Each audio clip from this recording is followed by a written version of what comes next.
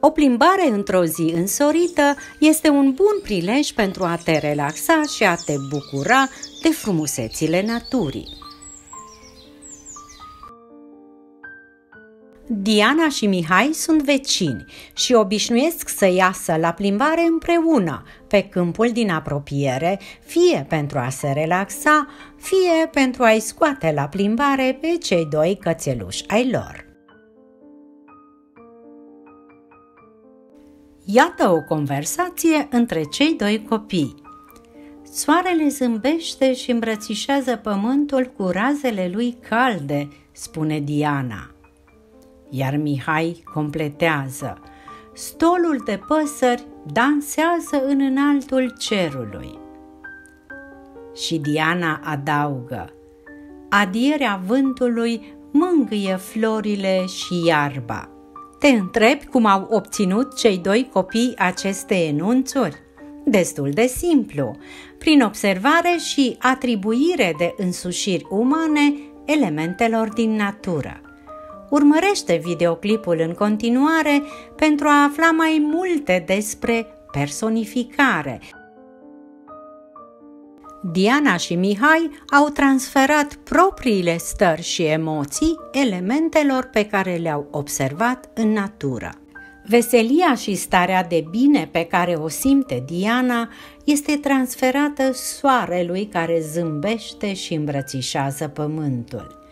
Mihai își exprimă bucuria de a se plimba văzând un dans în zborul păsărilor. Diana simte adierea vântului ca pe o mângâiere pe care o atribuie ierbii și florilor. Așadar, personificarea constă în observarea atentă a elementelor non-umane și atribuirea de trăsături, emoții și comportamente umane. Apare în mod evident întrebarea – ce rol au personificările în comunicarea umană? Ca orice figură de stil, personificarea sporește expresivitatea limbajului și facilitează exprimarea emoțiilor. Prin personificare se oferă o nouă perspectivă asupra realității, aducând lumea neînsuflețită la viață. Personificarea contribuie la înțelegerea lumii într-un mod nou prin transferul de cunoaștere asupra altor aspecte ale realității.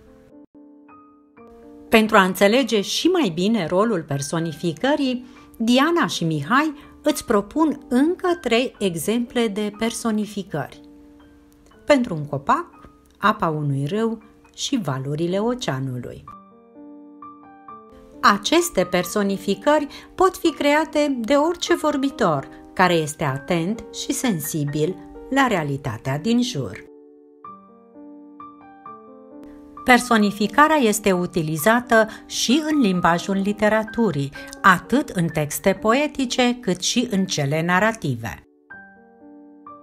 Aceasta este o strofă din poezia Somnoroase păsărele de Mihai Eminescu doar izvoarele suspină pe când codrul negru tace. Dorm și florile în grădină, dorm în pace. Cu siguranță ai identificat personificările care sunt evidențiate prin culoare și care dau atâta farmec limbajului poetic. Izvoarele suspină, codrul negru tace, iar florile în grădină dorm. În fragmentul extras din textul Fricosul de Emil Gârleanu, frumusețea unei nopți de iarnă este exprimată tot prin intermediul personificărilor. Iarnă, noapte lucie pe o lume ca din povești, copaci de zahăr, câmp de cristal, iaz de oglindă. Și în cuprinsul larg, uriașul policandru al cerului își aprinde una câte una luminile ca într-o nemăsurată sală de dans. Viețuitoarele pustietății sunt îmbătate de farmecul acesta.